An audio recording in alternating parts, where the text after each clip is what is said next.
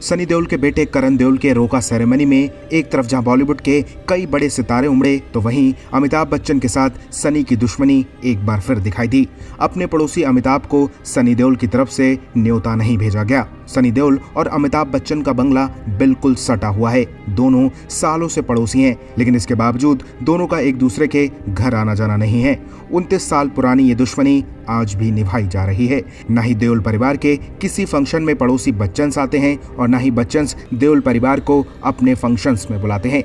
हालाँकि अमिताभ और धर्मेंद्र के बीच गहरी दोस्ती है। लेकिन सनी आज भी उनतीस साल पुराना जख्म नहीं भूल सके हैं। शुरुआती दिनों में अमिताभ और सनी में काफ़ी मेलजोल था। इसका सबसे बड़ा कारण धर्मेंद्र और अमिताभ के बीच गहरी दोस्ती थी। हालाँकि जब धीरे धीरे सनी देओल अपना खुद का स्टारडम बनाने लगे तो कई एक्टर्स उनसे इनसिक्योर फील करने लगे। बात उनतीस साल पहले रिलीज़ हुई फ़िल्म इंसानियत की है। इस फ़िल्म के पोस्टर में सनी देओल को साइडलाइन कर दिया गया था। पोस्टर में उन्हें किनारे छोटा सा दिखाया गया। वहीं अमिताभ को पोस्टर में लीड में रखा गया। ये देखकर सनी देओल का गुस्सा साथ में आसमान पर चढ़ गया था। फ़िल्म में अमिताभ का रोल छोटा था, लेकिन फिर भी पोस्टर में उन्हें लीड एक्टर की तरह पेश किया गया। ये बात सनी के दिल में चुप गई और इसके बाद फिर कभी सनी देओल ने अमिताभ बच्चन के साथ काम नहीं किया।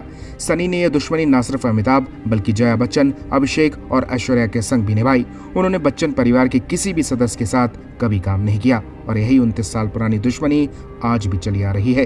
हालाँकि बाहर अमिताभ और सनी का जब भी सामना होता है, दोनों एक दूसरे का सम्मान करते हैं, लेकिन दोनों के दिलों में एक दूसरे के लिए गहरी टीस है, जो अक्सर ऐसे मौके पर सामने आ ही जाती है। वेल, आप क्या कहेंगे इस पर? अपनी राय हमें कमेंट में दीजिए, और ज़्यादा ऐसी अपडेट्स के लिए बॉलीवुड पर चर्चा को सब्सक्राइब कीजिए।